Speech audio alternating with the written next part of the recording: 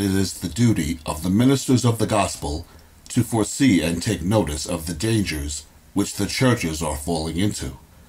And the Lord help us, and all other ministers, to be awakened unto this part of our duty.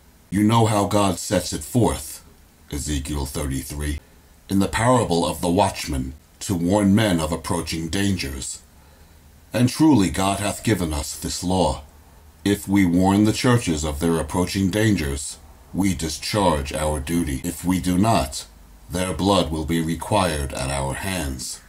The Spirit of God foresaw negligence apt to grow upon us in this matter, and therefore the Scripture only proposeth duty on the one hand, and on the other requires the people's blood at the hands of the watchmen, if they perform not their duty.